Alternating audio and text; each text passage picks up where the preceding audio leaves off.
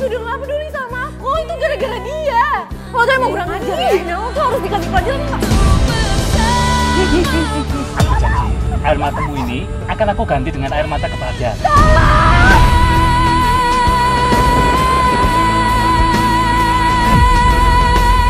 Apa karena fisik aku gak sempurna? Apa orang seperti aku gak berhak bahagia?